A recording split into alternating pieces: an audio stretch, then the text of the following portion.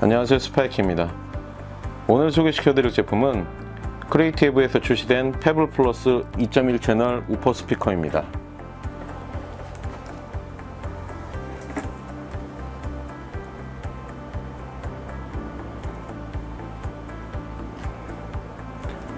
우선 외형을 간단하게 살펴보면 두 개의 스피커와 하나의 우퍼로 이루어진 제품이고 스피커는 디자인을 먼저 보시면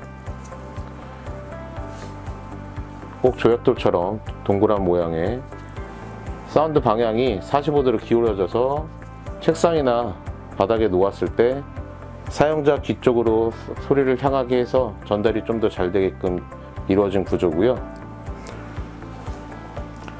따로 제어 버튼은 볼륨 조절 knob 말고는 특별하게 가진 건 없고 바닥면에 보시면 특이한 점은 gain 조절이 가능합니다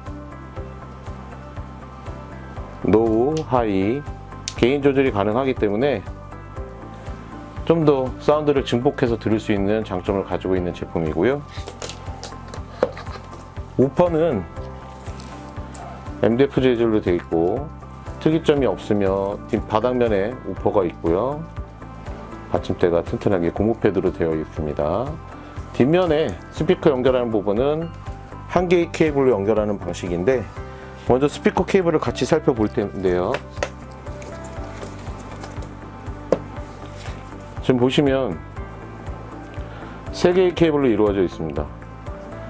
USB는 전원을 입력하는 전원 케이블이고 옥스 케이블은 뭐 노트북이나 PC 연결할 때 사용하는 케이블이고 RCA 케이블은 우퍼 뒷면에 장착하는 케이블입니다. 우선 PC 연결해서 소리를 한번 직접 들어보도록 하겠습니다.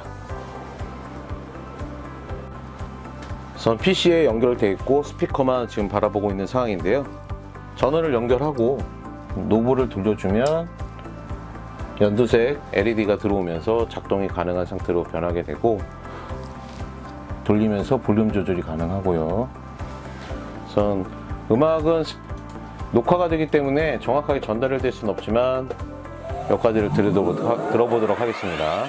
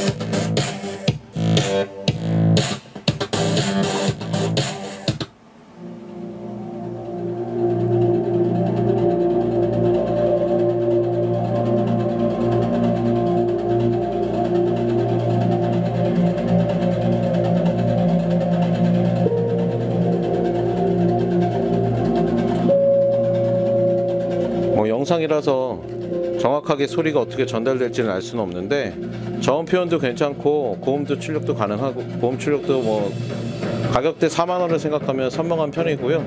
역시 우퍼가 있어서 베이스가 웅장하게 들려서 사운드의 역동적인 부분을 정확하게 체감하면서 들을 수가 있습니다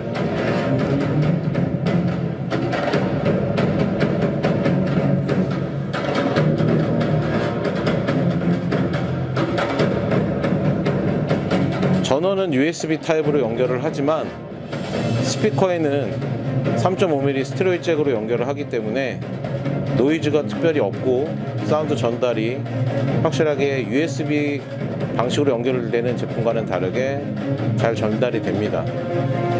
네, 지금까지 스파이키였고요. 자세한 리뷰는 블로그를 통해서 좀 더 구체적으로 설명을 드리도록 하겠습니다. 네, 지금까지 스파이키였습니다. 감사합니다